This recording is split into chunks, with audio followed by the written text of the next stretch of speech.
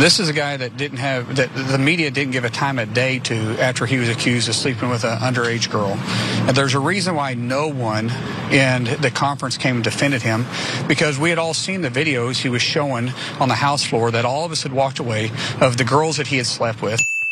Republican Senator Markwayne Mullin laid the smackdown on House Republican Matt Gaetz following his successful ouster of Kevin McCarthy from his leadership role. But if you think you've seen a lot, just stick around because you ain't seen nothing yet. He's about to get vicious. He'd brag about how he would uh, crush ED medicine and and and chase it with um, uh, with an energy drink so he could go all night. This is obviously before you got married, and so when that accusation came out, no one defended him, and then no one on the media would give him a time of the day. All of a sudden, he found fame because he opposed the Speaker of the House back in November, and he's always stayed there, and he's not. He was never going to leave until he got this last moment of fame by saying by by going after a motion to vacate. The knives are definitely out, uh, considering the fact that uh, Matt Gaetz has kind of led to this chaotic debacle within the Republican Party, certainly in the House of Representatives, following his successful ouster of uh, former House Speaker Kevin McCarthy. Now, if you think that Mullin going after Matt Gaetz is unique or novel, You'd be wrong because it's very clear to me that most members of the Republican Party are pretty furious with him and the others who uh, decided to vote to kick um, McCarthy out of that leadership role. In fact, Gaetz did respond to the allegations by Mullins by saying, I don't think Markwayne Mullin and I have said 20 words to each other on the House floor. This is a lie from someone who doesn't know me and who is coping with the death of the, the political career of his friend Kevin. Thoughts and prayers. But overall, the infighting in the Republican Party is very much real. Um, there's this war playing out uh, within the Republican Party. Much of the ire is directed toward Matt Gaetz, uh, but there are others who are dealing with that ire, uh, including Mace, Congresswoman Mace, which I'll get to in just a moment. But Cenk, um, thoughts on a young man like Matt Gaetz needing to crush, you know, erectile dysfunction medication and yeah. I mean, look, I, gotta work out that stress. It might be psychological. Okay, I, look, honestly, I don't care about that part at all. It's the and, most interesting part of the story. Yeah, so, okay, all right, fair.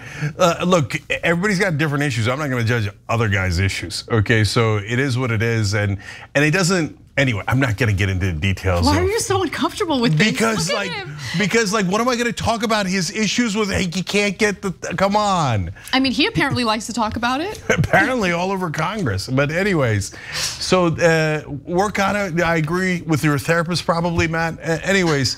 So, uh, and by the way, if the girl, if one of the girls wasn't underage, I wouldn't care about that story at all. I, I couldn't care but less about Matt Gaetz's dating life. I, I oh, think all that stuff is irrelevant, right? So now, but you could tell how livid the Republicans are because they're giving them the Democrat treatment. I mean, they're treating him like a Democrat. They're going all the way against him, right? They're treating him like they treated Madison Cawthorn after he claimed that a bunch of like Republican lawmakers engage in like cocaine-filled orgy parties. yeah, when you touch their power or their uh, issues, then they're gonna get super mad, right? But I'll tell you, I'm a tiny bit conflicted about this. And mm. so because I I think that there should be a rebellion against the uniparty. The problem is the right wing's doing it, so it's so nonsensical. Like, and they have a terrible messaging problem. If and Nancy Mace is supposed to be theoretically moderate, Matt Gaetz is radical right. Uh, uh, Ken Buck can't make up his mind. So this group, motley group of eight Republicans are a really weird group and they don't have a unified message. Like if they have something to defend themselves other than, we didn't like McCarthy, we wanted to do blow things up, we wanted to do uh, grassroots fundraising, right? If you have something better than that, you should all say it. You should say it together. You should say it clearly. The only good thing that I've heard is Matt Gaetz saying that he wants single subject votes, which is totally fine. That's probably what they should stick with. So I like the rebellion. I just didn't like that it was for no goddamn reason. Well, okay, so it's really interesting that you say that because I hear you, Cenk. I'm a little conflicted myself. On one hand, I am very aware that everything that Matt Gaetz is uh, engaging in is really out of self-interest, possibly a personal grudge against McCarthy. I mean, look, they agree on everything pretty much. However, there was a moment on the House floor prior to the vote to uh, get rid of McCarthy from the speakership role where Gaetz touched on something that you care deeply about.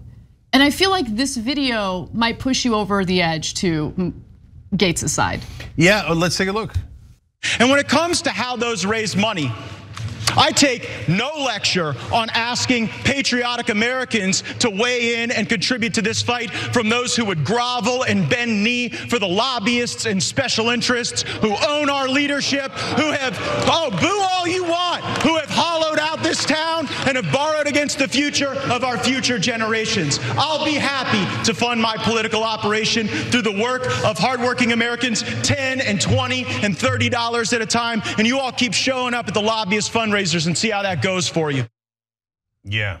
That was satisfying. No, no, no. I give him all the credit in the world for that. I actually I saw that headline. I didn't get a chance to to watch that video. I'm so glad you uh, played it there, Ana, because Uh, the headline made it seem like you, ha ha, Matt Gaetz is so wrong. He even got booed by his fellow Republicans. No, that's a very rare time that Matt Gaetz is 100% right. Like, yeah, he's doing shenanigans to get grassroots fundraising and he's going over the top. I understand that.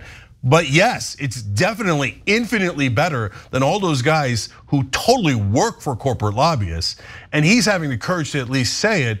By the way, progressives, that's kind of embarrassing. It that is. He, I, that I he's saying say, it more than you guys are saying. I gotta say, you're right about that. You're right about that. There Look, I just feel that the progressive wing, like the genuine progressive wing of the Democratic Party, has now acquiesced uh, to the demands of the corporate Democrats. They're they're united, and I think that in their minds, appearing united is much more important than holding members of your own party accountable for bad behavior, including corruption. And I just I disagree with them on that. I fundamentally yeah. disagree with them on that, which is why they don't ever call out the corruption. Yeah. The fact that Matt Gaetz called out the corruption in that aggressive way, and you haven't seen a a progressive Democrat do it, you're right. Yeah. It is infuriating. And Ana, now that you uh, played that video, Oh no, that's why they're talking about his erectile dysfunction, what pills or whatever. Hundred percent. Oh, no, no, no. That's definitely part yeah, of it. Yeah, this thing got personal not because they love McCarthy so much; they couldn't care less. McCarthy, Jim Jordan, they're all disposable.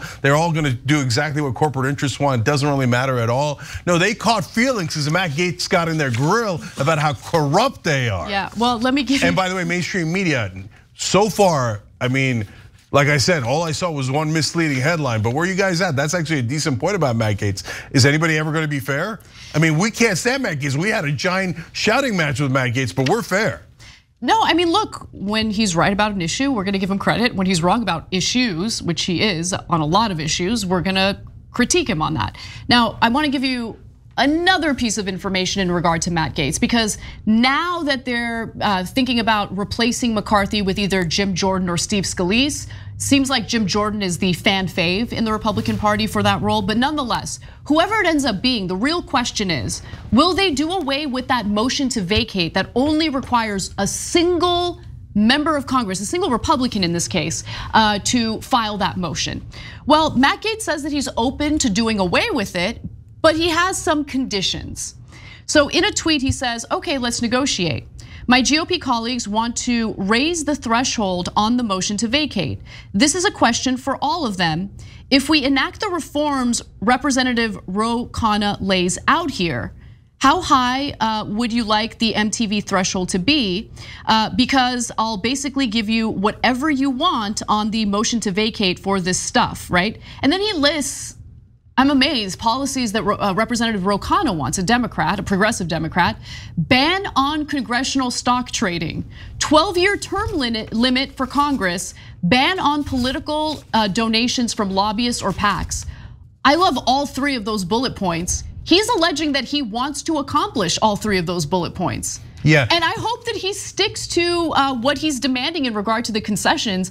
And if he manages to accomplish that, he deserves a world of credit. Now, I'm skeptical that he'll be able to accomplish that, but who knows? No, look, uh, so I, actually talked to Ro Khanna about this uh, uh, on Friday last week, and because I'm like, wait, it looks like Matt Gaetz's bill and Ro Khanna's bill are pretty similar, mm -hmm. really, really similar, right? And Ro Khanna acknowledges that. So if the Democrats were actually honest and they actually believed. Remember, they had HR 1 a while back? That was the voting rights bill, but that had a bunch of anti corruption measures. And they said it's the highest priority. That's why we made it HR 1, right? And I told you guys they don't mean a word of it. They're not going to pass that thing, okay? And of course, they didn't. They dumped it right uh, in the beginning of Biden's term. But if they were, if they meant it, it turns out Matt Gaetz can bring you the Freedom Caucus.